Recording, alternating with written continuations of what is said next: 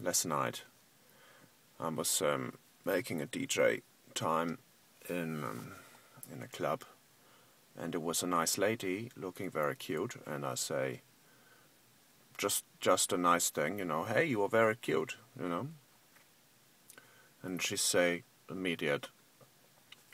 You, excuse me, but you are barking up a wrong tree.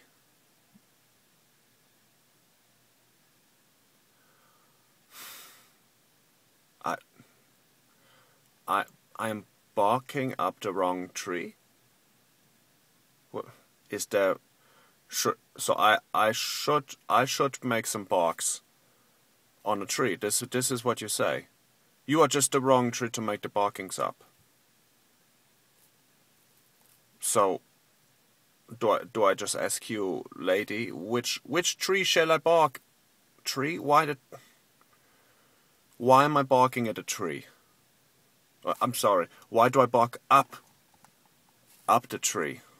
I don't want to bark. I don't want to bark in an, in at all. I want to speak with you because you are cute.